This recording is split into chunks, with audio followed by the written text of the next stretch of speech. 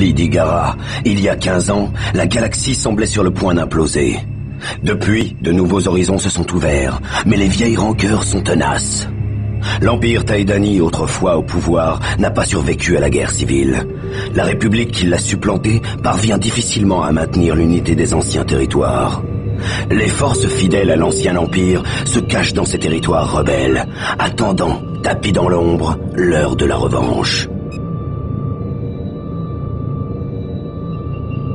Alors même que les Taïdani balancent entre passé et futur, les Kushan ont repris possession d'Igara et reconstruit tout ce qui avait été détruit au cours de l'ultime bataille pour leur monde.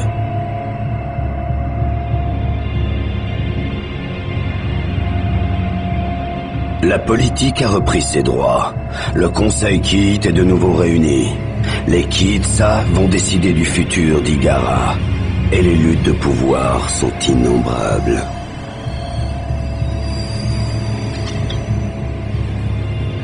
Le vaisseau mère est toujours en orbite haute autour d'Igara. Utilisé comme constructeur, il produit des vaisseaux de transport destinés aux Kiitides.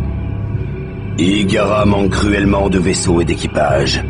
Cette pression d'ordre économique et militaire est omniprésente et intense.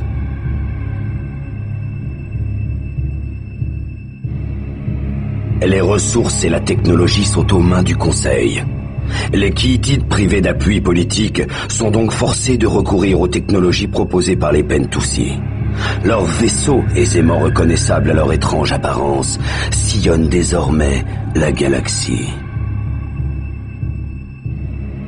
La guerre pour Igara est terminée, mais l'ombre de l'insécurité plane encore sur la galaxie.